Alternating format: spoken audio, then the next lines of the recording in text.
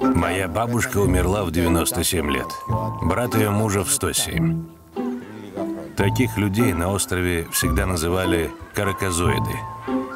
Как птица коракас, которая живет по сто лет.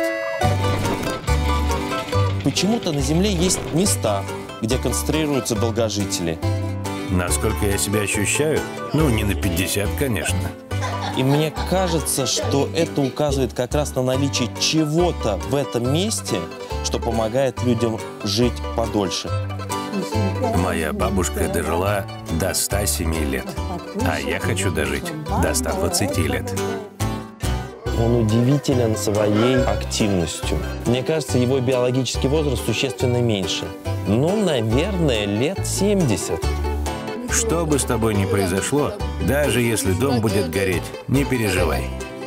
Надо иметь достаточно, чтобы прожить, а остальное должны заработать другие люди. Но я так скажу. Пока здесь все работает, жизнь прекрасна. Можно веселиться,